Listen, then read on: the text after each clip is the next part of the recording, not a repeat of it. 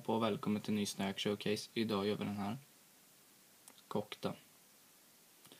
Um, ehm, det var ett rätt långt tag sen när jag drack den här. Jag har faktiskt druckit den här förut. Men jag har helt glömt bort hur det smakar. Så vi dricker den igen. Uh, som ni ser så är det en svart dricka också. Jag tror att det kommer smaka ungefär som en kola eller någonting. Eller julmust. Men ja, nu smakar vi. All the boys that be like this, all the girls that eat my shit.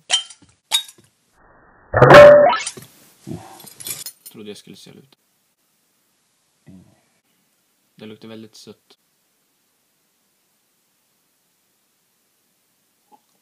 Survaran. Jag vet inte vad smaken är, men jag tror inte jag gillar den här. Smakar lite konigt. Jag tycker den är lite för sur. Jag rekommenderar inte den här alls. 12 kronor på Ica Maxi. Tack för att ni tittade och vi syns på nästa video. Hejdå.